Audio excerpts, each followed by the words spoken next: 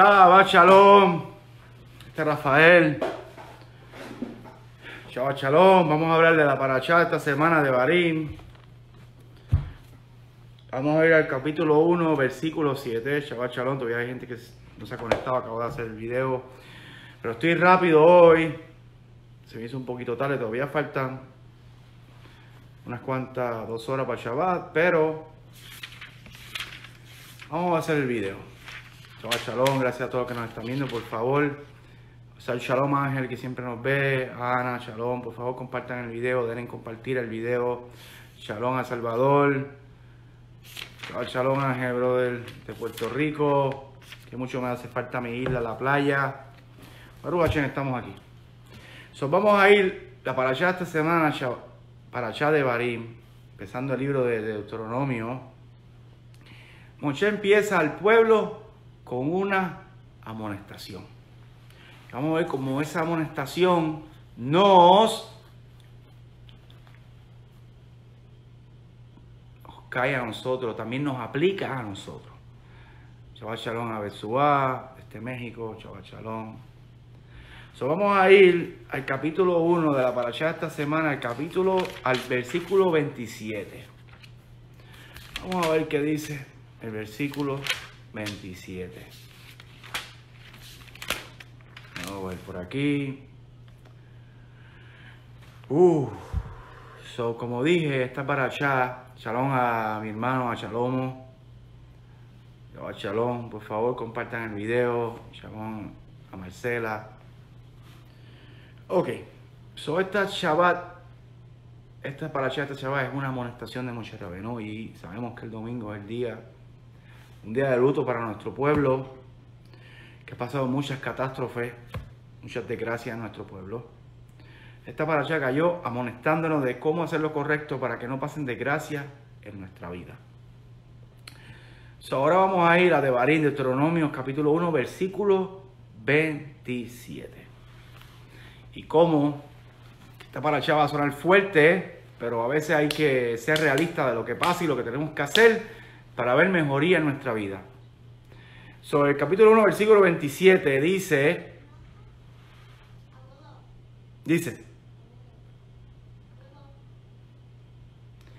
calumniaron, hicieron calumnia a los hijos de Israel, nosotros, en sus tiendas y dijeron, ¿por qué nos aborrece Hashem y nos sacó de la tierra de Egipto para entregarnos en mano del amoreo para que nos destruya?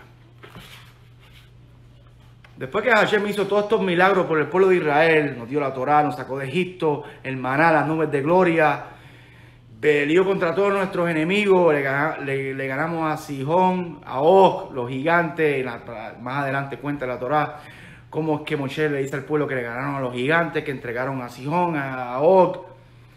Después que Hashem hace todos estos mandamientos por el pueblo de Israel, dice el versículo 27, y calumniaron al pueblo, y el pueblo calumnió a Hashem, porque tenía miedo de que si Hashem nos libra de todas las cosas malas, y Hashem nos ha protegido hasta ahora, el pueblo tuvo miedo de los gigantes. Y nosotros hacemos lo mismo, calumniamos a Hashem. La chonjara, calumniar a Hashem, hablar, quejarnos contra Hashem, contra Hashem, cae en calumnia, porque estamos calumniando a Hashem de que se nos olvida todo lo que Hashem hizo con nosotros en el pasado. Y en este problema que tenemos ahora, decimos, Hashem no nos puede salvar. Y cuando empezamos con esas dudas de muná, con tristeza, con depresión, es una calumnia contra Hashem, porque estamos diciendo, bueno, Hashem sí me ha salvado del pasado, pero contra este gigante no me puede salvar ahora. So, no hay ninguna diferencia entre la parashá esta semana con la amonestación que, el, que Moshe le está diciendo al pueblo de Israel con lo que nosotros estamos haciendo ahora mismo. Calumniamos a Hashem, dudando de Hashem, que sí, ok, no se pone el pasado, pero estos problemas que tenemos ahora son muy gigantes, muy grandes, y no los podemos, no los podemos vencer. no hay ninguna diferencia. Son cuidado de juzgar a la generación de la parachera esta semana, porque nosotros en esta generación hacemos el mismo error. Lo mismo hacemos nosotros. ¿Y cómo calumniamos a Hashem? Porque Hashem hace tantas cosas por nosotros, decimos, no, Hashem no me quiere, no me escucha, no me contesta, se olvidó de mí. Eso es una calumnia. ¿Cómo tú vas? Piensa, vamos a pensar bien. ¿Cómo es que el creador del universo, primero que te creó, y cómo es que te va a olvidar si estás vivo porque Él está pendiente a ti? ¿Cómo vamos a decir que Él no nos quiere? ¿Cómo vamos a decir que Él no nos escucha? ¿Cómo vamos a decir que Él, no nos contesta? Es lo mismo, es una calumnia. Una calumnia es algo que no es verdad, que tú estás hablando de otra persona. cuando nos quejamos contra Hashem, estamos calumniando al creador del universo, que Él no nos escucha, que Él no nos hace caso. So, vamos a quedarnos callados, vamos a tener inmunidad en Hashem. Gracias a todos los que nos están viendo, gracias, ya mismo damos saludos. Eh, quito los comentarios, veo a la gente que se está conectando live, pero quito los comentarios para después que, termine el video, ah, comento, porque a veces hay muchos comentarios eh, fuera de lugar y me desconcentran, so, seguimos. Y el versículo 28 del capítulo 1 dice, ¿y a dónde? Después, vamos a leer el capítulo, el versículo 27 para seguirle corrido. Calumniaron en sus tiendas y dijeron, ¿por qué nos aborrece Hashem? Nos sacó de la tierra de Egipto para entregarnos en manos del amoreo para que nos destruya. Y el versículo 28 dice, ¿y a dónde subiremos? Nuestros hermanos han atemorizado nuestro corazón diciendo, un pueblo más grande y alto que nosotros, ciudades grandes y fortificadas hasta los cielos y también hijos de gigantes son, hay allí. cuenta el episodio de los espías que calumniaron la tierra, calumniaron a Hashem. ¿Qué podemos aprender de eso? Rodéate que tu núcleo de personas sea gente positiva, que te ayude a acercarte a Hashem, que te ayude a echar para adelante. Gente sin mal de ojo, cero envidioso, no andes con estas personas que te van a quitar el enfoque de la verdadera misión que tenemos en nuestra vida.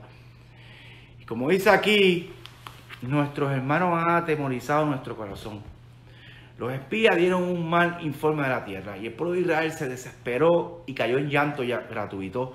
Y Hashem dijo, porque han llorado en este día, van a llorar por todas las generaciones. Y eso es lo que vamos este domingo, el 9 de Av,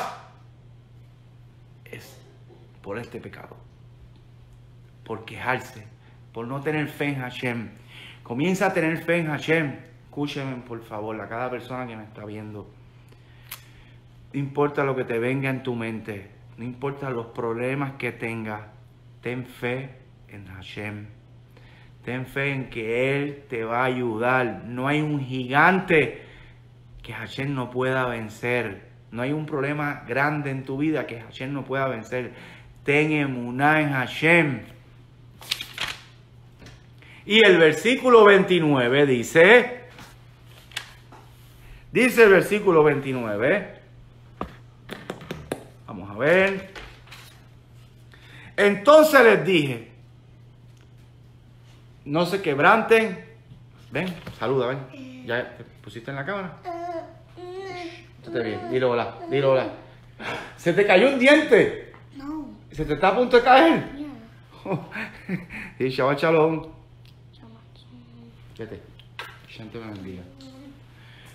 So, el versículo 29 dice, entonces les dije, no se quebranten ni tengan miedo de ellos. Moshe le dice al pueblo, Moshe nos está diciendo a nosotros ahora, no tengan, no se quebranten y no tengan miedo de ellos.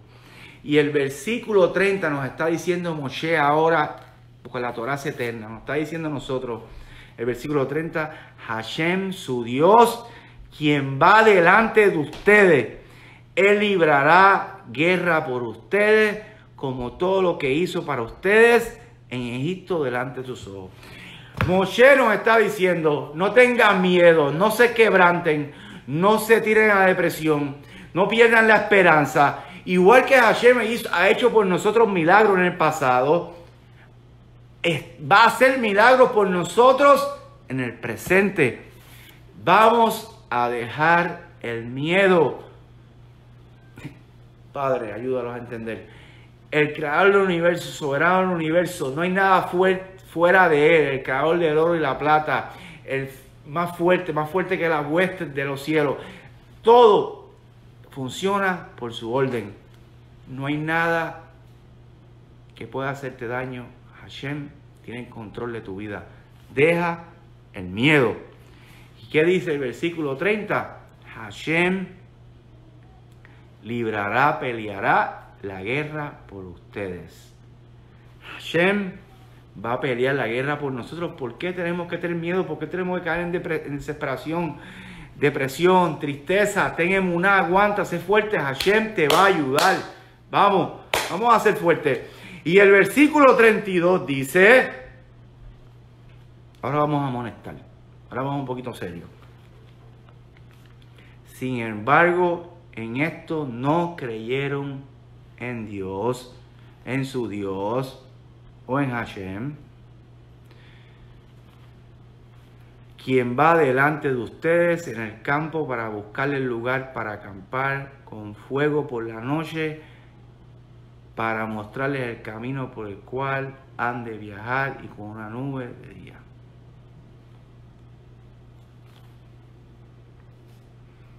El versículo 30 voy a leer de nuevo. No se quebranten ni tengan miedo de ellos.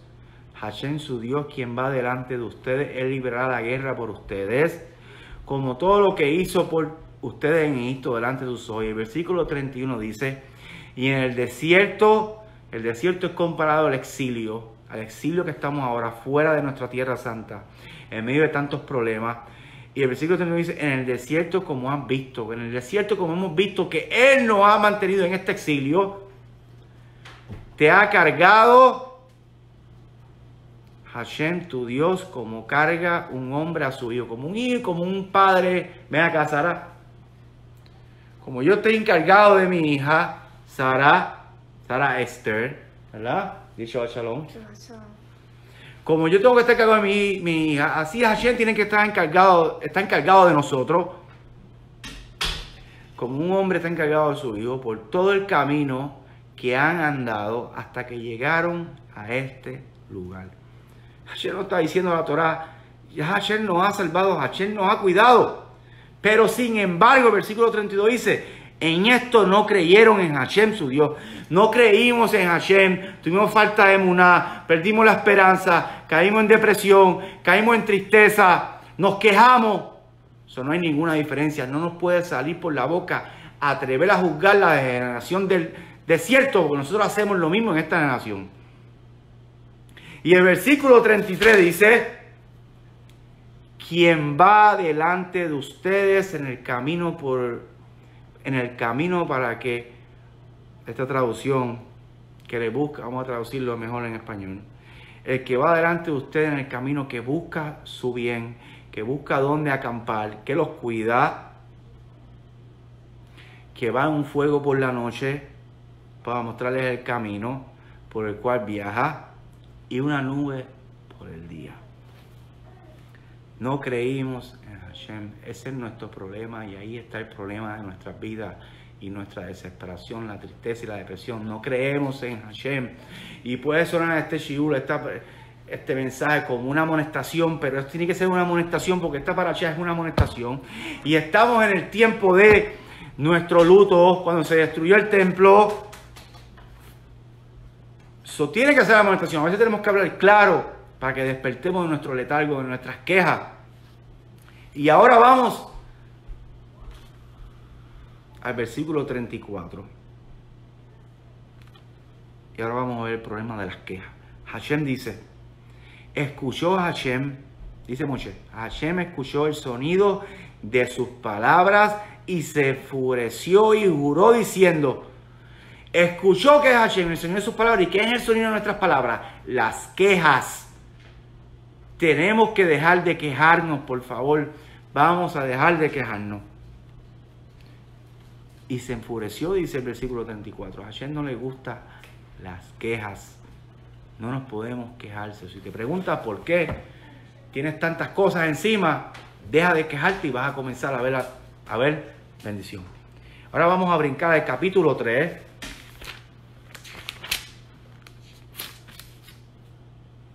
Versículo 22.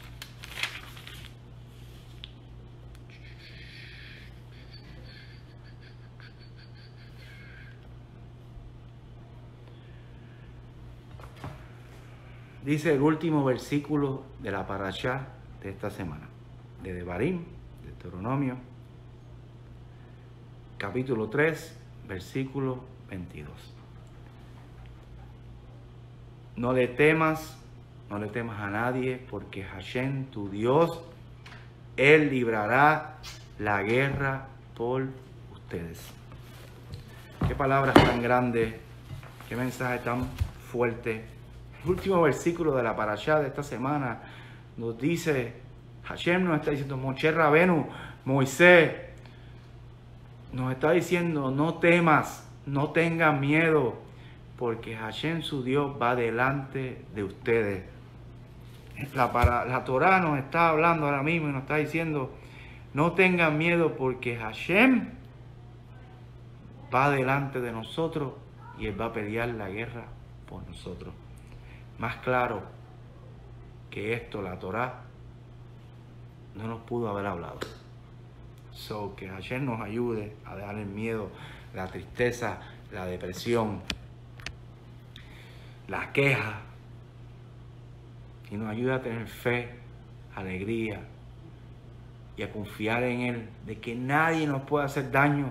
Hashem lo controla todo. Un solo rey, un solo Dios, él es todo, no hay nada fuera de Él. Todo lo controla Él. So, Shabbat Shalom, Asako Baruch. Gracias a todos que nos están viendo.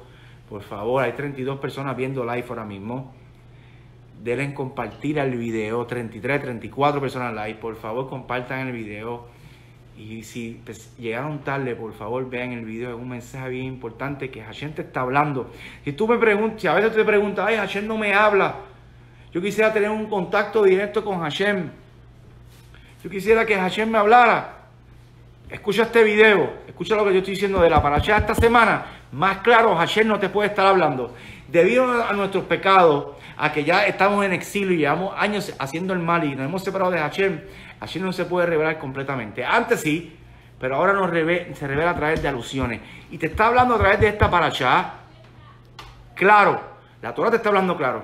So, a Saco Baruch, a Shalom, por aquí nos está viendo Ángeles de Puerto Rico, a Ana, a Salvador, a, Ana, a Betsua de este México, a Shalom mi hermano nos está viendo, a Marcela nos está viendo, a Nechamá nos está viendo, a los hijos de Israel nos está viendo, a Loida nos está viendo, a Mercedes, a Shalom, a Onyx, a José, a ver por aquí quién más, a Dolores,